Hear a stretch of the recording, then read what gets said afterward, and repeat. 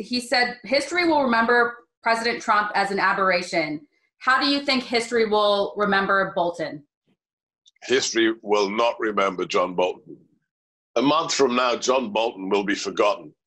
He'll be a nobody. He'll be a man who sees his books being remaindered for $3 at bookstores across the country because nobody's going to buy it. John Bolton will become a sad, pathetic, forgotten man, and his name won't mean anything to anybody very soon.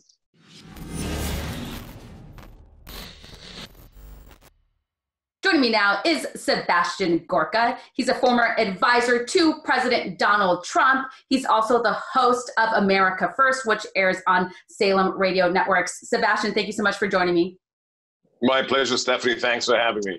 And for those of you watching, please don't forget to like and subscribe to the Daily Caller. Now, uh, Sebastian, I'm sure you've heard all about this. John Bolton's new tell all book that's coming out this week or officially coming out. We've heard all about it from the mainstream and it's been referred to as kind of like a, a scathing takedown of President Donald Trump. And uh, it survived a security rule review, a legal challenge from the Justice Department, and this book is titled The Room Where It Happened. Now, Sebastian, I know you know John Bolton pretty well, and at one point you considered him a friend. What's your reaction to this book? Um, I'm disappointed, Stephanie this is really truly pathetic. The room where this happened, no, this is the, the fever dream of John Bolton, a man who I consider to be a friend who had served this nation uh, in a very uh, you know credible fashion for years at the United Nations and the State Department, and now he's just if if the extracts that I've read are a, a reflection of his manuscript, he's just lying. He's just created outrageous lies to try and sell books and I guess ingratiate himself with the fake news industrial complex. So it's a very, very disappointing day for those who knew John Bolton. Well, and President Trump alleges that there's classified material in this book. And uh, Bolton still could be in like legal limbo right now, even though there's been some sort of clearance for the book to be released. So, um, what do you make of that? I mean, he's a former national security advisor and he's coming out and releasing this information that the president's calling classified uh, that makes the president feel uncomfortable. What does that say about Bolton as a person? It's not the president's allegations. On, on Friday, a news report was published where the current director of the National Security Agency, the general in charge of an organization that has far larger budget than the CIA, said that Bolton's book contains top secret information. And the release of this book will endanger the way that we collect intelligence around the world. So the president's right, and the person who's in charge of the NSA has confirmed it again. Absolutely incredible. I, I've published two books since I left the White House Why We Fight and the War on America's Soul and I didn't feel like I had to put any top secret information in it, although I had a clearance as well. So John Bolton has um, has done damage not only to his reputation but also uh, to to this nation as well.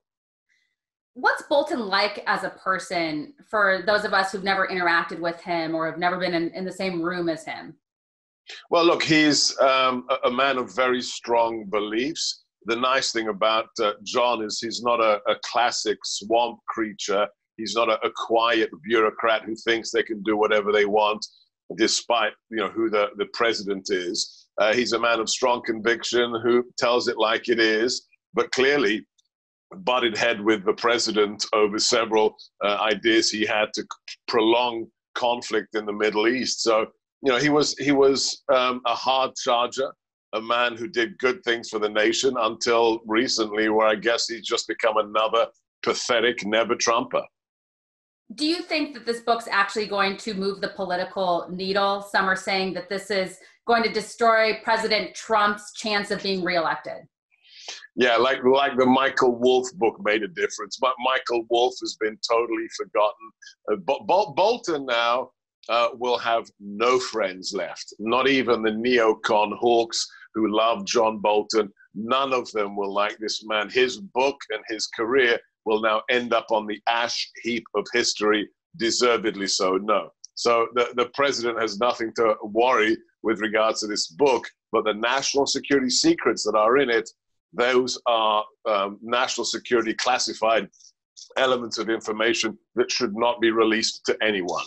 And you have to wonder if Bolton was so uncomfortable with President Trump at the time, why didn't he speak up? Why didn't he say something? And we often see these people who uh, maybe some might call them disgruntled former employees that come out and have all these things to say. He's a strong person. Why didn't he talk then? No, you're absolutely right. So if, if you are a political look, look, it's very very simple in, in, in government. only one person is elected to be the president. There's only one commander in chief. It's not the Secretary of Defense. It's not the National Security Advisor. And if you work for the president, you work for the president. If you have a disagreement with him on some policy issue, you can tell him once, you can tell him twice, and if you still have that policy disagreement, guess what, John Bolton? You can resign. But the idea that he was in a room and he heard the president break the law or say, you know, things to the, the premier of China that were bad, and then he stayed in his job, well, then that's an indictment of you, John Bolton. Or there's the other scenario, Stephanie. He's just a liar. I think John Bolton is just a liar. What do you think about him making his rounds with the mainstream media who once despised him? Actually, they probably still despise him, but uh, you remember all the name calling and uh, the, hysteria about him being a war hawk, and now they're all excited to have him on their program. Well, of course they are, and they will be for about three minutes until they dispose of him. This is a man who has been pilloried for decades, not just as a war hawk, but as a warmongerer by the left and by the mainstream media. They'll use him and his book as a political weapon against the president, and then he'll become irrelevant and he will have no friends left. It's like it's like Blasey Ford. Blasey Ford was a tool to use against a conservative Supreme Court justice. And when she failed to bring down Brett Kavanaugh's nomination, she disappeared along with her accusation. So, you know, John Bolton, you're just a more pathetic version of Blasey Ford. Was there anything uh, that we've learned about what's in this book that concerns you? No, because it's a tissue of lies. I, I'm not. I'm not worried about people writing falsehoods in a book that is just meant to aggrandize them and their bank accounts. So no, I I'm concerned um, for John Bolton because this this is how you ruin a career. And John, you have ruined your career in such a way that is unrecoverable. Uh, one thing that keeps is part of the discussion right now from Bolton's book is that he says that the Chinese president tried to help him win the 2020 US election. Do you think that President Trump was actually reaching out to China's president to convince him to help him win 2020? I, I hope that's not a serious question. So, so th- this is the first man since Henry Kissinger, in his asinine policy recommendations, told President Nixon, hey, it would be a great idea to open to communist China. This is the first president since Nixon that, who has taken the threat of China seriously.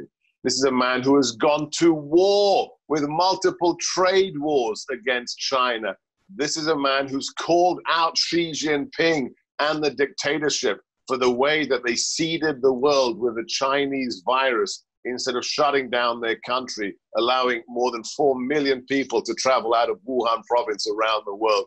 So the idea that Do- Donald Trump, th- this is about as you know realistic as oh yes, President Trump, a, Put- uh, a Putin puppet, when this is the president who greenlit the targeting and killing of more than 200 Russian mercenaries in Syria. This is the same president that unleashed our oil and gas industry and fracking to such a way that put Russia in the back foot on energy export globally. So, again, it, this is just the quintessence of fake news.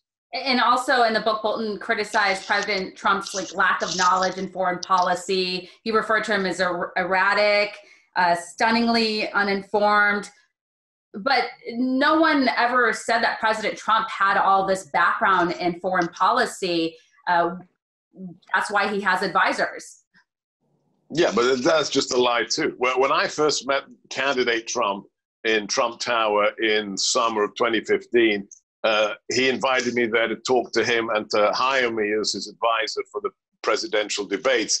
I was stunned, Stephanie. This is the first time I'd met the man. It was just me and Corey Lewandowski in his office, and we had this incredible, wide ranging discussion on national security issues from the Civil War right up to ISIS to nuclear weapons, you name it. This is a man who devours information, is very, very interested in all of these policy ramifications. So, again, John Bolton, let me be very clear here. John Bolton is lying. He is no longer credible. The only problem with Donald Trump as president is that he didn't want to surrender to John Bolton's desires in the Middle East. And that's why John is insulting him now. And Bolton, on an in, or during an interview with uh, ABC's George Stephanopoulos, he said, "I'm not going to vote for President Trump in, in this election, but I'm still conservative." Yeah, right, right. This this is the definition of a never Trumper. We've got Joe Biden, who is the face of a radicalized Democrat Party that believes in saying Antifa is not a problem, that statues should be torn down, that the autonomous zone where two people have been killed in Seattle is a block party, and uh, John Bolton is not going to vote for the man who's stopping all of that, but he's still a conservative Give me a break, John. You are now a never Trumper and soon to be an utter, complete irrelevance. And he said, uh, he said, history will remember President Trump as an aberration. How do you think history will remember Bolton? History will not remember John Bolton. A month from now, John Bolton will be forgotten. He'll be a nobody. He'll be a man who sees his books being remaindered for $3 at bookstores across the country because nobody's going to buy it. John Bolton will become a sad, pathetic, forgotten man, and his name won't mean anything to anybody very soon. Well, he, he got that $2 million advance reportedly. And uh, also, I, I don't know if you saw this, but over the weekend, I guess a pirated version of his book was online. So now his publishers are in a tizzy uh, trying to get those down. Did you read it? I'm, I'm not going to waste any time on that book. The, the two excerpts I read are bad enough. I know they're lies. So sorry, John, I'm not buying it, and neither is America.